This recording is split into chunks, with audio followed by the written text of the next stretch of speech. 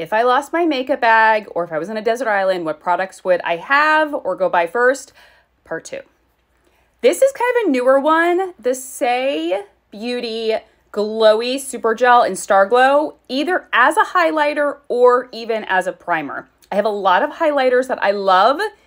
This is so lightweight, yet still gives the most gorgeous finish to the skin. So this definitely. Um, all right, what do we have here?